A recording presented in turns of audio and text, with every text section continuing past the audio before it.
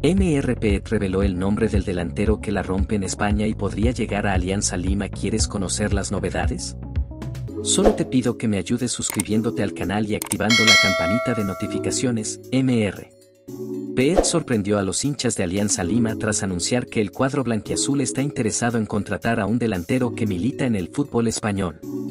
Alianza Lima tiene una importante cita ante Colo Colo por la quinta fecha de la fase de grupos de la Copa Libertadores 2024. Si los blanquiazules suman los tres puntos en Matute, estarían asegurando su presencia en un torneo internacional, octavos de final o la Copa Sudamericana.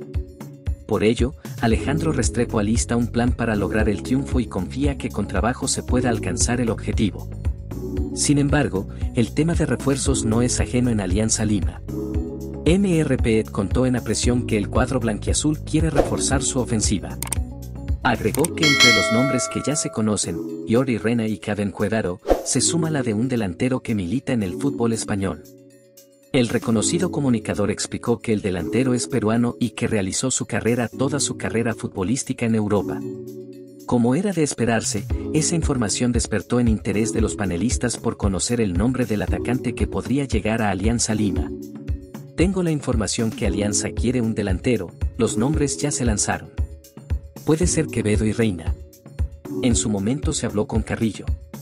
Y un delantero peruano que juega en el fútbol europeo que seguramente no está tan mapeado por la gente, pero ya tiene un tiempo jugando en España, indicó Mr. Pide en presión.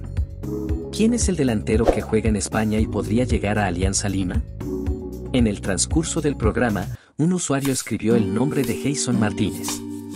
MRP afirmó que sí, que él es el delantero que milita en el fútbol europeo y que Alianza Lima lo tiene en la agenda para que pueda reforzar su ofensiva para el torneo clausura.